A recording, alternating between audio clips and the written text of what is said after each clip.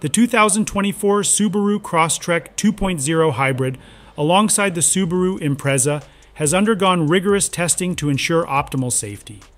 Both vehicles share nearly identical structures, offering comparable protection for occupants and vulnerable road users. In the latest European New Car Assessment Program results, these vehicles delivered impressive performances across several safety categories.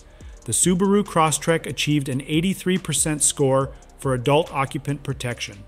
In frontal crash tests, the passenger compartment remained stable, with good or adequate protection provided for the knees and femurs of both the driver and passenger.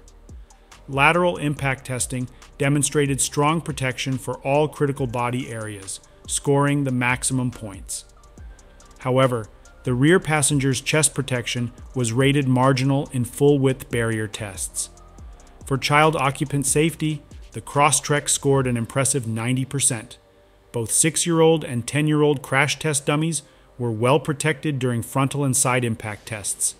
Additionally, the vehicle comes equipped with a feature that automatically disables the front passenger airbag when a rearward facing child seat is detected, ensuring safety for the youngest passengers.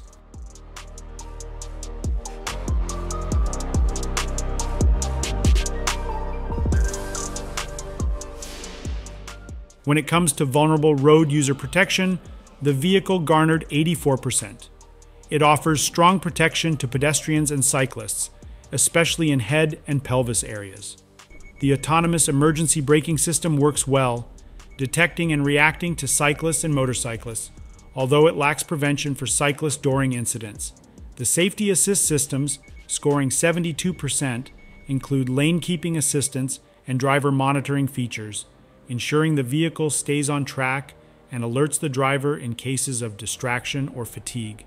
Overall, the 2024 Subaru Crosstrek and Impreza excel in safety, although there are opportunities for improvement in rear passenger protection and cyclist safety in certain situations.